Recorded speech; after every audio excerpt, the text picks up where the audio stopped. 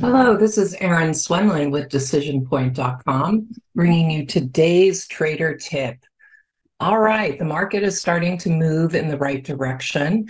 We had a really nice thrust upward on the rally last week, but it is time for things to cool off a little bit. We already started to see a little bit of digestion this week.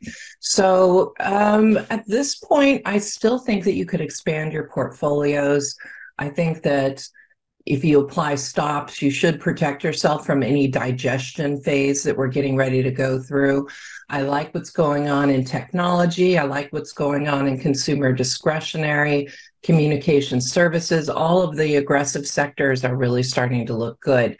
So I would be thinking of stocks in those particular areas. I did bring two stocks to you today. One is Intuit, I N T U, and the other is Universal Display, OLED.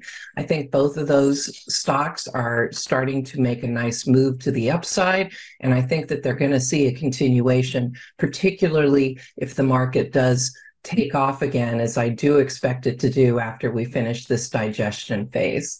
That's all I have for you today. Enjoyed today's trader tip. Again, Erin Swenlin from DecisionPoint.com. Go to BusinessFirstAM.com for where to see our show on TV.